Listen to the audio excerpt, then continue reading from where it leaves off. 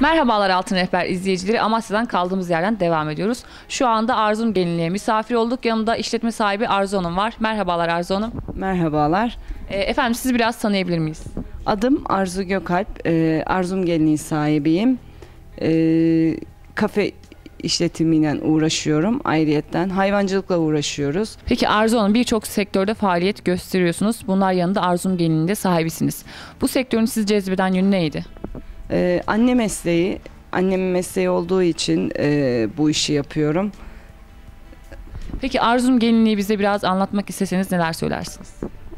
Güzel bir meslek. Ee, herkesin hayaline e, hitap eden, e, herkesin böyle e, ömürde bir kere giydiği güzel bir şeyi yapmaktan mutluluk duyuyorum. Peki Arzu'nun gelinlik bünyesinde kaç gelinlik barındırıyor?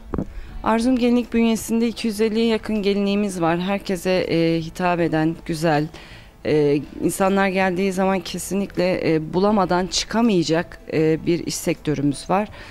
E, bindallarımız, gelinliklerimiz, nişanlıklarımız, çocuk gelinliklerimiz, abiye her türde e, kişilere hitap ediyoruz.